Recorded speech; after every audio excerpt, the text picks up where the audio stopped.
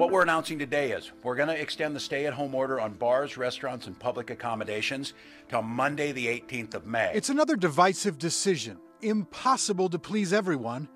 Two and a half more weeks of stay at home for most. Reaction on social media was swift. Skip Johnson said this is the first time we've quarantined healthy people, protect the vulnerable, and quarantine the sick. Mickey owns a mom and pop retail store and writes she feels the governor's order is unfair, saying, quote, he has already allowed every big box store to open their doors and to hundreds of customers inside their retail shop. Who has our backs? End quote. Joanne echoes that sentiment, saying the big stores are all open. Quote, small business cannot survive. If we can go to the big stores, we can go to the small ones just as safely. This is unconstitutional, end quote. It's not the governor's fault. Corey Warling is a produce and food truck driver. He says he's grateful for government unemployment support during furlough, but his heart breaks for the folks he can't deliver to right now because they're closed. And on Facebook, I've seen some of these these restaurants are saying we just can't do it.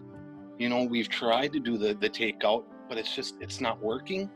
There's not enough customers coming in, and unfortunately, we are going to have to close. With funding that we had, we were able to pay our employees for um, March and April. So that money is now gone. Other businesses like the River Valley Dance Academy sit in limbo, unable to perform recitals and practices, unsure about how to get through the summer. So I'm not really sure how we're going to get through August, and I think that's a concern for a lot of studio owners. But there was praise for the governor's decision as well. Mary Kay thanks the governor's team for protecting lives. Tina Herr says the thorough explanations and data keep her confident in the decisions. Michelle says this makes her proud to be Minnesotan.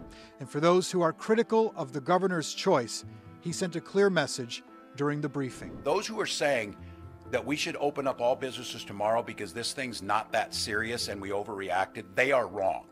Those who are saying we should open up as fast as we possibly can because this is causing huge economic damage and we should figure out a way to do that that is the safest possible way to do it, those people are right.